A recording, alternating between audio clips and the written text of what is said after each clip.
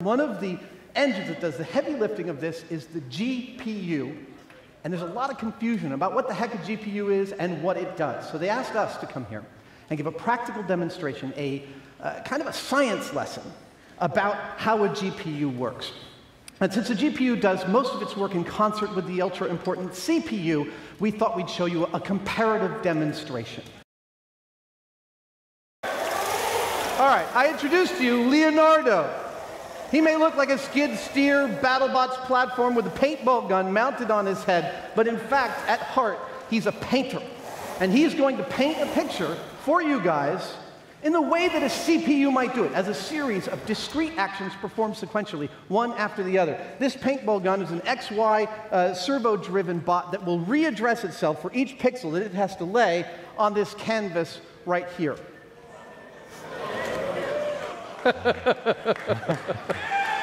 Three, two, one.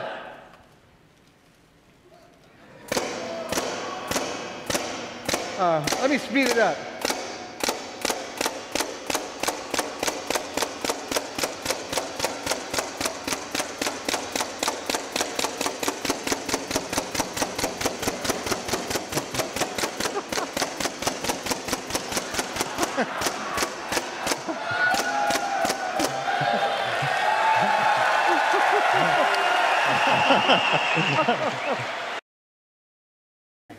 oh, you guys are going to love this.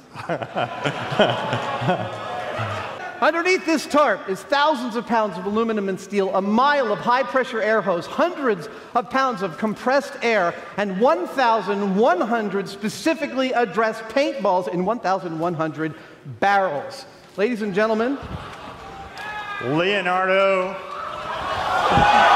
2.0.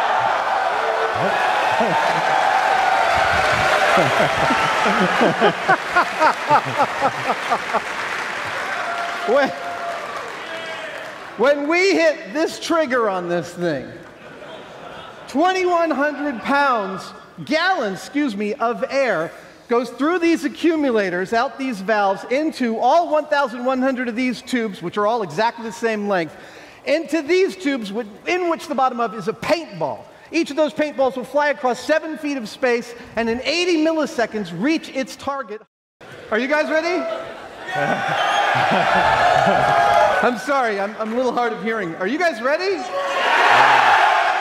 That's what I thought. Uh, the audience is ready, the crew's ready. On your mark. 10, 9, 8, 7, 6, 5, 4, three, two, one.